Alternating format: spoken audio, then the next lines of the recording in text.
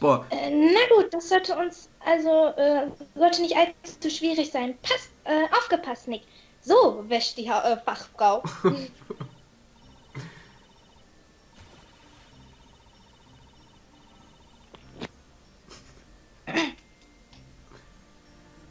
Also, alles, was du tun musst, ist erstmal die Robbe ins Wasser zu legen. Ungefähr so.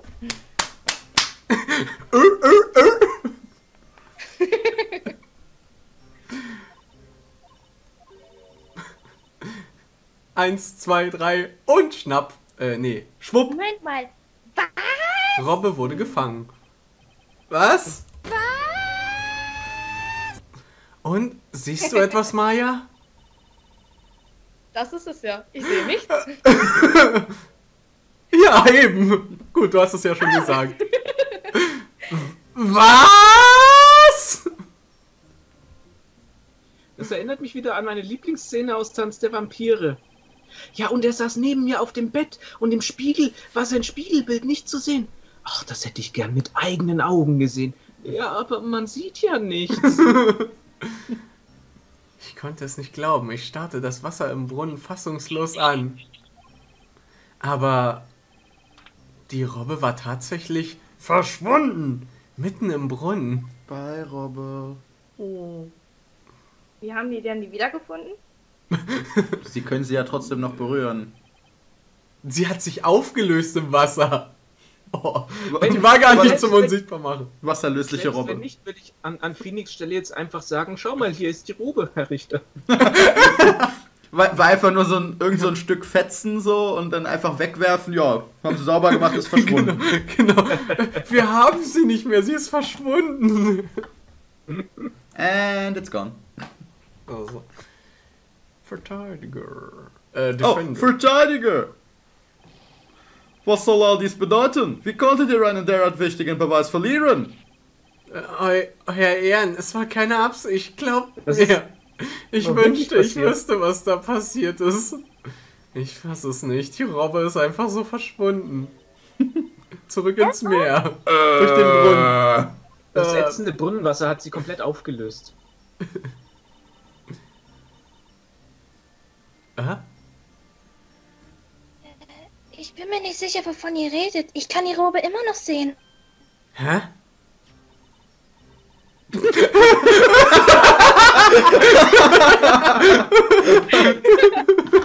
Props an die Entwickler.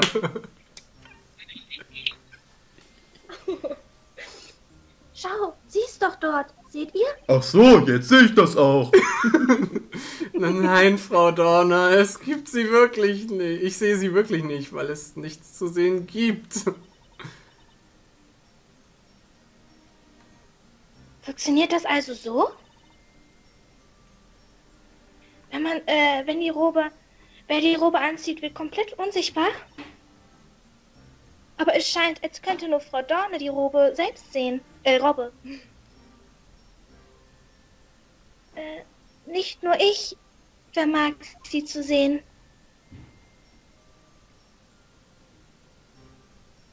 Alle Bewohner des äh, Burgeswaldes, sie alle können die Robbe sehen. Der Das klingt wie so ein imaginäres Tier. Was? Welches? Die Robbe? Spirit Animal. Ja. Der Purgeswald. Unser Dorf liegt tief im Herzen des Waldes, in einer Welt, die ganz anders als diese ist. Hogwarts! Dort ist meine Heimat. Solange wir das des Landes achten, dürfen wir dort im Frieden leben. So ein Aborigine-Reservoir. Ich wusste es. Etwas an Bella ist auf jeden Fall anders als im Vergleich zu den Bürgern dieser Stadt. Einstweilen. Once upon a time. Da nur die Angeklagte die Robbe sehen kann, werden wir diese wieder mit Mehl bestäuben, damit sie für alle sichtbar wird. Robbe der Nacht. Uch! Upsi. Ja, Robbe der Nacht zur Gerichtsakte hinzugefügt. Macht die Träger unsichtbar. Angewendet von unsichtbar nur für Burgeswaldbewohner. Jo. Aber da ist immer noch diese eine Sache, die mich beschäftigt.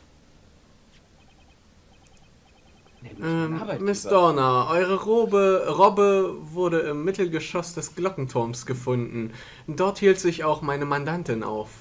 Doch ihr habt euch letztlich im obersten Geschoss des Glockenturms versteckt. Was rumpelt denn da draußen? Ist das ein Laster oder wird's hier. Es sieht eigentlich gut aus. Erdbeben in Berlin?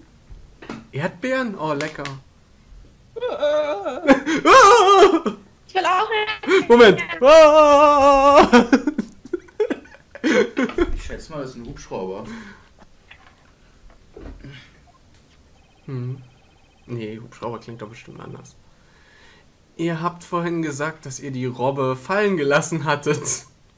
Nein. Aber ich frage mich eines. Was genau wolltet ihr, wolltet ihr eigentlich dort oben? Oh. Es scheint ganz so, als ob wir noch Ich eine Vielzahl von Fragen an die Zeugen haben. Was? Was hängt? Was ist eure Meinung, Großinquisitorin Gloria? Keine.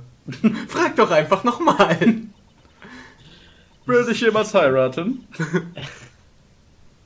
Es ist die Pflicht der Inquisition, der Weisung des Hohen Gerichts in diesen Angelegenheiten zu folgen.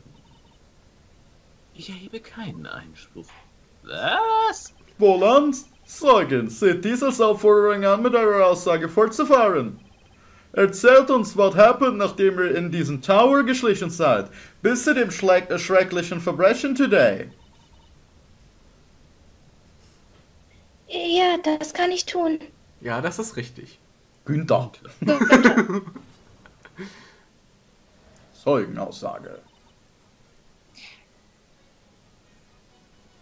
Äh, Ich wartete im, Mittel, im Mittelgeschoss des Turmes. Ich begann, mich umzudrehen, doch es war zu spät. Ich wurde plötzlich attackiert und konnte nichts tun. Der Angreifer ergriff meinen Arm und hielt mir den Mund zu. Oh. Oh. Oh. oh. Und womit denn? Mit seiner Robbe. Rabenkeulen. Oh. Als ich darum kämpfte zu entkommen, ich glaube, ich habe meinen Angreifer etwas entreißen können. Hm. So Mike Tyson-mäßig, oder? Seine Robbe abgebissen. Jetzt kann er sich die Robbe nicht mehr keulen.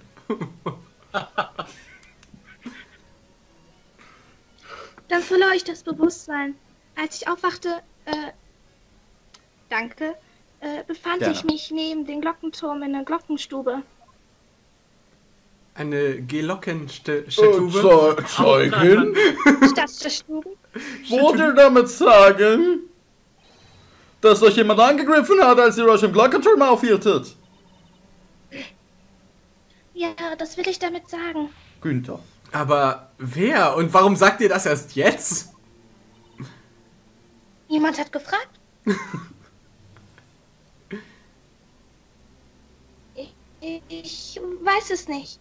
Ich wurde hinterrücks angegriffen. Des, äh, deshalb konnte ich niemanden erkennen. Hm, ihr wart also die ganze Zeit danach bewusstlos. Deswegen konnte ich meine Mission nicht erfüllen. Doch selbst wenn ich bei Bewusstsein gewesen wäre, hätte ich nichts tun können. Gefangen dort oben. Hm. Ob Bella wohl mit diesem seltsamen Apparat, den wir dort gefunden haben, zur Glockenstube gebracht wurde? Ich sehe zumindest keinen anderen Weg, wie sie sonst dort hätte landen können. Ihr hört die Worte der Zeugin. Sie war in der Glockenstube des Turms eingesperrt. Mit anderen Worten, sie kann mit den heutigen Ereignissen nicht in Verbindung gebracht werden. Darum sehe ich keinen Bedarf, diese nutzlose Befragung fortzuführen. Nicht so schnell, ich sehe schon einen Grund. Warum? Darum! Die Zeugin hat auch äh, ausgesagt, dass jemand äh, sie heute Nacht angegriffen hat.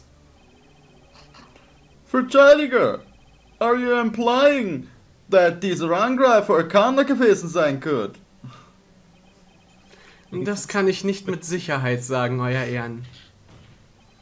Trotzdem bittet die Verteidigung darum, die Zeugin weiter ins Kreuzverhör nehmen zu dürfen. Ich habe einen Hammer und ich werde ihn benutzen.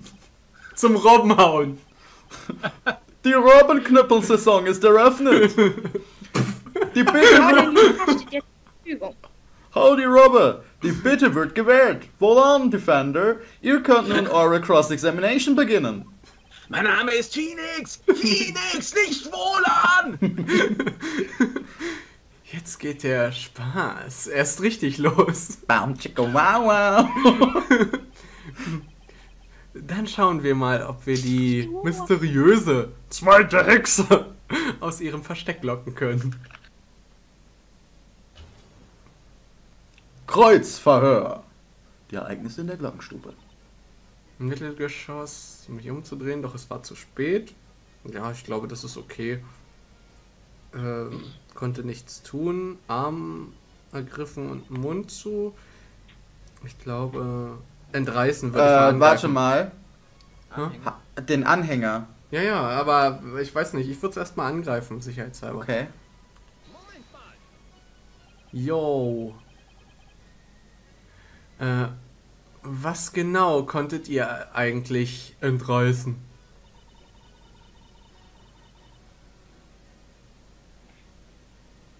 Ich war immer noch recht benommen, deshalb kann ich mir nicht genau, äh, kann ich mich nicht dra genau daran erinnern.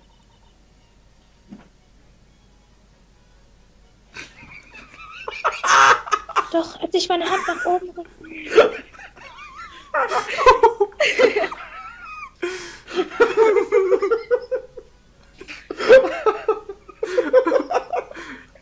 Es, es war so weich und etwas haarig.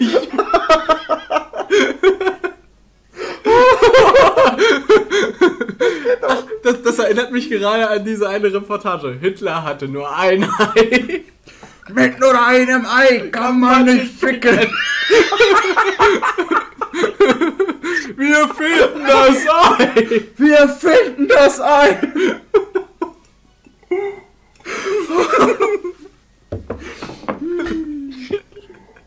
Okay, erstmal den Satz zu Ende, ne? doch als ich, Ohne zu lachen. doch als ich meine Hand nach oben riss, konnte ich ein kleines Bundes auflegen. und greifen. Und der Täter sagte dann, oh.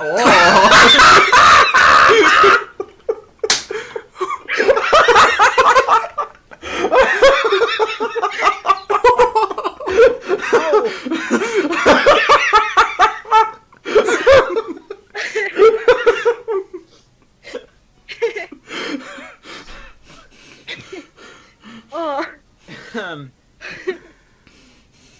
ich habe, ich habe es wohl unbewusst zerrissen. Der Gegenstand, was immer es war, wurde schneller. Das klingt ganz so, als könnte dieser Gegenstand etwas sein, das der Angreifer an sich hat. Oh, mein Kiefer tut mir schon weh vom Lachen. Oh, ich heule.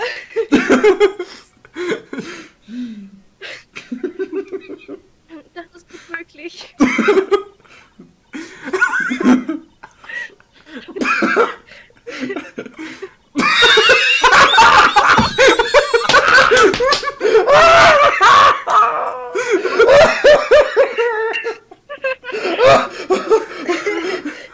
Oh ja.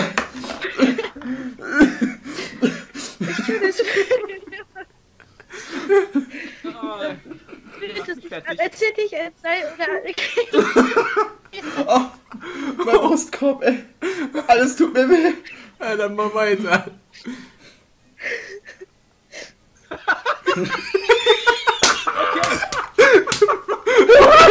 Wer stellt sich freiwillig zu? Zeit für die Gegenüberstellung. Welcher ist es?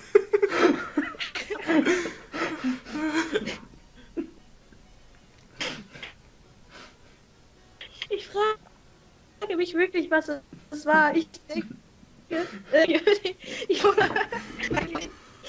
okay. Beruhig dich. Sie würde Oh. die Form Wiedererkennen, wenn sie sich vor sich sehe.